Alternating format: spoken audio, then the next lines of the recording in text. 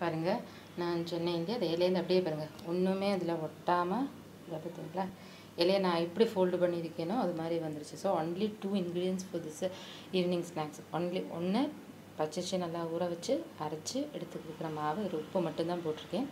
கொஞ்சம் தேங்காய் துருவல். அது நீங்கள் நான் இப்போ மிக்சியில் ஓட்டி எடுத்திருக்கேன். நீங்கள் துருவி எடுத்துனா கொஞ்சம் கூட பெட்டராக இருக்குது சும்மா ஒரு வாழலையில் வாட்டி வாட்டி போட்டாலும் சரி வாடின வாழையில அப்படியே அதெல்லாம் ஒரு ஸ்மெல்லும் வராது. நல்லா அப்படி பண்ணினீங்கன்னா இதை பாருங்க ஈவினிங் குட் ஸ்நாக்ஸ் கிடச்சிருச்சு இது எல்லோரும் ட்ரை பண்ணி எல்லாருக்கும் இந்த விரு இருக்கா? ட்ரை பண்ணி பார்த்தா தெரியும் இது எல்லாருக்குமே விருப்பமாக இருக்கும்.